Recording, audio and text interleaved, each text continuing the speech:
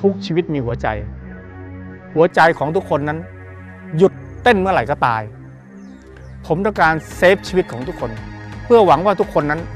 จะมีประโยชน์ต่อประเทศนี้ สามารถที่จะมาสร้างชาติทนุบำรุงประเทศของเราต่อไปได้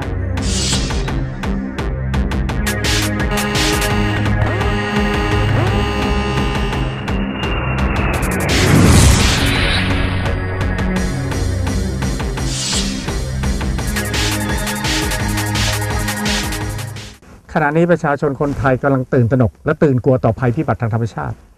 อุทกภัยครั้งร้ายแรงที่เกิดขึ้นในรอบร้อยปี น้ำท่วมกรุงเทพ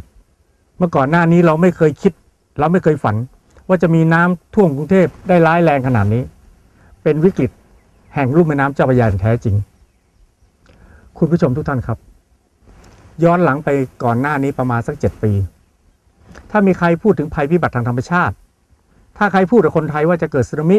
จะมีสตอมเซิร์ชจะมีแผ่นดินไหว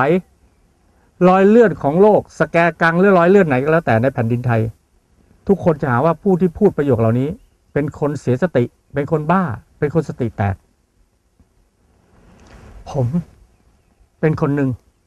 ที่อยู่ในจำนวนสติแตกเหล่านั้น เมื่อสี่ปีย้อนหลังไป ผมได้สร้างภาพยนตร์เรื่องสึนามิวันโลกสังหาร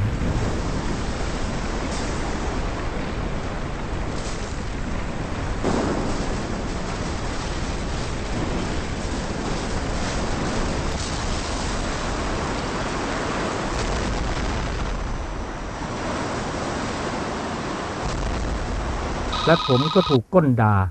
จากสื่อมวลชน จากคนหลายแขนงหลายอาชีพ ว่าทรนงสีเชื้อสติแตก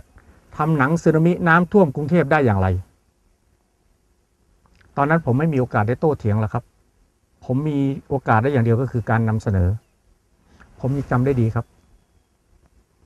ในเว็บไซต์ในอินเทอร์เน็ต หรืออีกหลายสื่อ เขียนโจมตีผม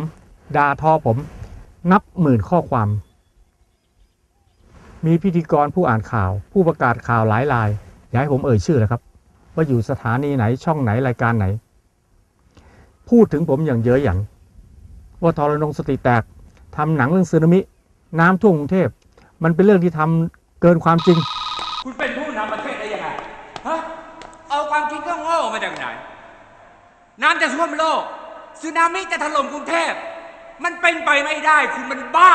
เสียสติไปแล้ว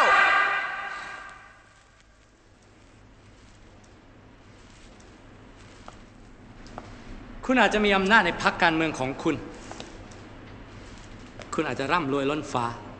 คุณอาจจะมีบารมีทางการเมือง แต่คุณไม่มีวันมีอำนาจเหนือธรรมชาติได้ บ้ามาก ไม่เคยพบไม่เคยเห็น และคำที่เคยเสียดสีเย้ยหยันผมตลอด 4 ปีที่ผ่านมา เวลานี้